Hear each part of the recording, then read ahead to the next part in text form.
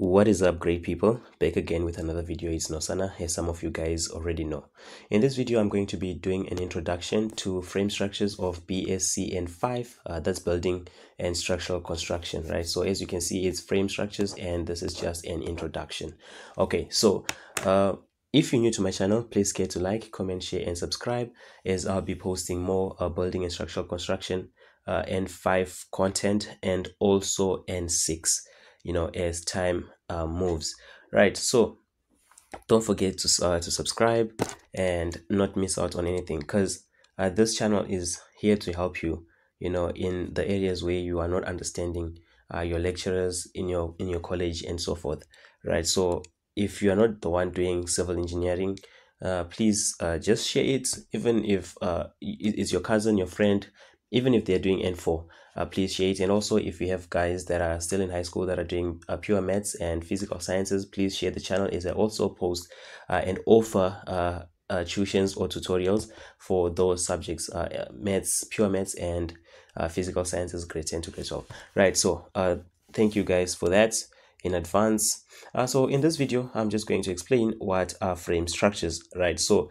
guys, when it comes to frame structures, uh, the uh, the the calculations to this is kind of uh, it's interesting i wouldn't say it's hard it's just interesting and uh, that's why I, oh, I say subscribe because I'll be explaining in detail, right? Because how they are teaching, because I, I also went through this and I know that uh, the lecturers are not clear at sometimes and you need someone who can, you know, edify your understanding. Even the textbooks, sometimes there are mistakes. Even when you do question papers, you also notice that the memos are not giving you the correct uh, you know the correct answers. Like they're confusing you. What they what you're being taught and what you're seeing in the memo is not the same thing right? So uh, i've heard that the reason why they make the memos uh, to be that way is because uh, there's not so much security you know in the tvet colleges and private colleges when it comes to writing these exams you know uh, people can just uh, ask for the toilet and have their phone there and go through the memo you know because they don't have a lot of papers. So the memos they're taking from previous questions and then so you, you, get uh, you guys get what i mean. So yeah uh, back to the main purpose of this video is just to introduce uh, introduce what are frame structures and what we are all about you know what is going on in this topic. Right so when we say frame structures we are talking about a roof truss uh, basically the roof truss right? And as you can see this is what i have here. I have literally uh, a roof a truss. Okay so guys when we have these uh, this is a roof truss though it's not complete you know we are used to uh, the one that has a lot of uh, you know so if you have a roof truss uh, like this you know we, we are used to one that has a lot of that uh, uh, the ones that have uh, diagonal struts and so forth right? So this one was just uh, for me to explain because i can see i need something that is happening over here right? We can see that this can be our loads right? So a, a roof truss guys is just a roof uh, a roof truss. It's just a roof truss. It's a it's a it's a member you know it's a it's a member in the construction that we use to hold our our roof right we use this to hold our roofs. So yeah uh, from n4 uh, we got to know uh, what these members are. We got to know that these are what we call the rafts and then this is what we call the tie beam right? As you can see uh, the horizontal members that are running through uh, we call these the tie beams and then we call these ones our rafts right? These are our rafts. And the entire thing right? The entire thing is what we call a roof truss. I mean a raft or a rafter okay? And then here you have a collar tie and then you have a ridge right? And then okay. So guys when we have a roof truss the roof truss is in between or the roof truss is uh, being held by a load right? Is being held by these uh, vertical members. They are called loads okay? So these members are what we call loads. And then in the diagrams in n5 uh, we've seen that they do they go up like that right? Like they move upwards right? Uh, this is something that we've seen. And then so yeah guys uh, we will discuss more on the diagrams as we move on. Okay so what i just wanted to point out was that uh, when we taking when we dealing with the roof trusses uh, it is very important that uh, we know what is happening right? It's very important that we know uh, why we are doing so many calculations. So as you can see we will have a point over here and then you know we have these points and these different points. It depends with the with the diagram. Okay so what a frame structure is is just a structure that is made up of rigid par- uh, rigid parts uh, also known as members right? We can also call those members uh, which are joined together by uh, which are joined together actually uh, to form a what we call a, a form of uh, framework because we have different members and then now we have like a form a framework i mean. Okay so yeah guys and then uh when we have this member here okay uh, when we have this member here uh, what we need to keep in mind is that when we have this we need to know that a frame right a frame or a a, uh, a framework right or a frame structure uh, we need to know that it is being held right? And as it, it's there to hold the roof right? The the tiles whether whatever it is that it is on top the the uh, the roof truss the roof structure or the frame structure has to be able to withstand those loads. So it can be either the the weight of the roof covering uh, the rainwater uh, the wind you know it also has to to withstand the wind uh, in different weather conditions and also whether there's temperature. So it, it, it, it has to be able to withstand uh, those different uh, pressures. Okay so guys we have a tie beam right? So a tie goes under different so these are the two different uh, uh pressures that the roof structures go under. Uh, they go under what we call tension right? So there's tension okay there's tension right? So there's tension and then there's what we call compression right? There's what we call compression okay? We have tension and compression. So uh we the the ties right the tie the tie beams undergo tension right? The ties under the tie beams undergo tension and this is how we we demonstrate anything that is undergoing tension. So if it's going under tension it means that it's being pulled i mean it's being pulled apart right? So our arrows to indicate tension will be going inside right? So it's like the opposing the motion the opposing the tension. Tension is being pulled but then the arrows to show that uh, tension is happening the arrows point inwards. So that's how i want you to remember it tie right? So tie beam as you can see tie beam tie beam.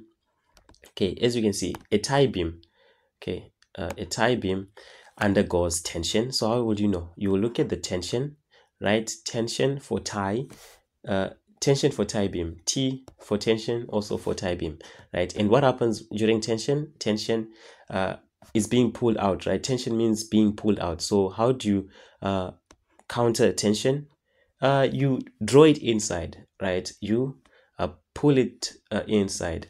You compress it uh, in other words right? But compression is a different word. So tension this is how you show the arrows right?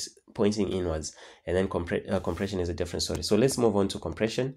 Uh compression so i said tie beams undergo compression. I mean sorry tie beams undergo tension. And then uh these are the struts right? These are what we call the uh, not these yes these are what we call the struts. And then we can call this one a rafter but a rafter can also uh, be seen as a strut.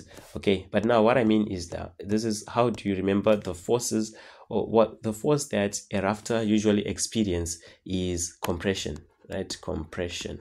As I wrote there, it's compression. And this is this can be our usual rafter, but I'll draw it like this. Uh, right or a strut or a rafter rafter or a strut right so this rafter undergoes compression right? So it's a strut right? A strut okay. it undergoes compression. How would you know that compression goes with struts? Compression has two double two s there and also this one you can also take the s and say s for compre uh, for compression right? But now compression means that it's being pushed inside, isn't it? Compression means that it's being uh, compressed, it's being pushed down, let me say. It's being pushed down, right? Compression means it's being pushed down. That is what compression is. But now, how do you uh, encounter or how do you counter? I don't, the, uh, yeah, so how do you do that? Like, how do you oppose ten? Uh, how do you oppose compression? Well, it's easy.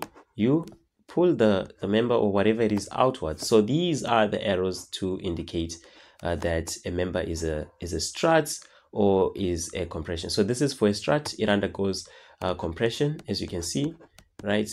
and then what goes under tension uh, under tension so let me just show you guys tension uh, would be inwards so the forces would be pointing inwards like this like this right so this is tension so you can say tie tie beam right? And what is it going under? It is going under tension right? Tension is probably going outwards but then how do you uh, oppose this? You draw it inside you pull it inside. So guys this is what you just need to know.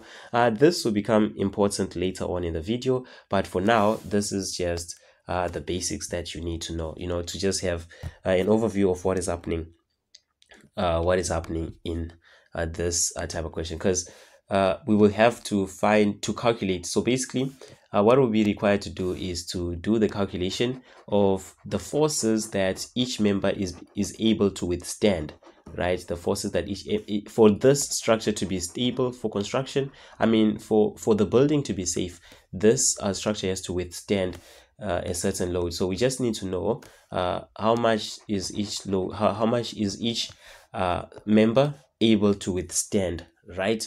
And you will need these arrows. So there will be two method uh, for us to determine the forces. Uh, they can there will be an analytical method analytical right? There'll be an analytical method method right? Which is not is not asked very often. You know usually they ask you to use so there's an analytical and then there's um there's a graphical right? There's an analytical and there's a graphical graphical method right? Graphical method.